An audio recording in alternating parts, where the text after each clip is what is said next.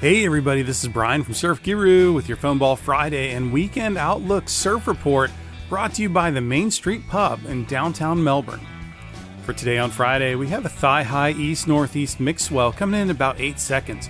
Winds are going to be onshore, but a little tamer in the morning and definitely a little tamer north of the Cape.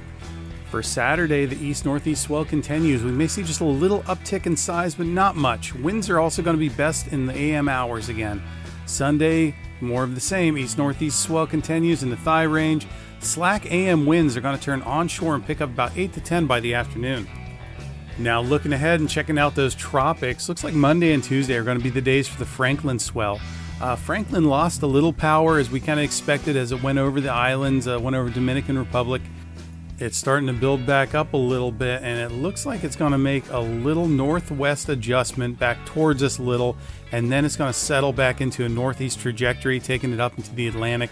Looks like the eye is going to be passing about like six, seven hundred miles offshore.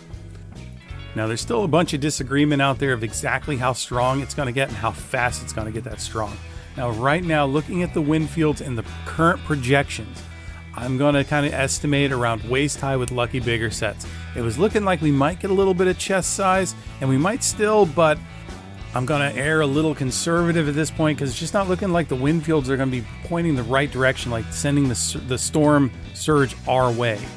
So I'm going to keep an eye on that. Looks like currently Tuesday is going to be the best day. It's going to kind of be the peak of the swell.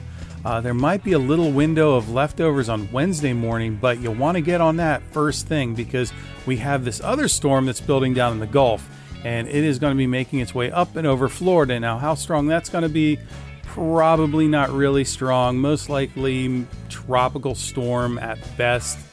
But the Gulf waters are really warm, so you never know. Might build up maybe just slightly under a Cat 1. So, like I said, that's going to be coming through Wednesday. So, kind of expect to be a rain out by Wednesday afternoon. But I'm going to be back on Monday and just let you know what's up with this. See if we're going to be getting much of this swell from Franklin. And until then, be sure to check the cams. That's going to be the best way to know exactly what's going on your favorite spot. And hey, everybody, thanks again for checking out Surf Guru.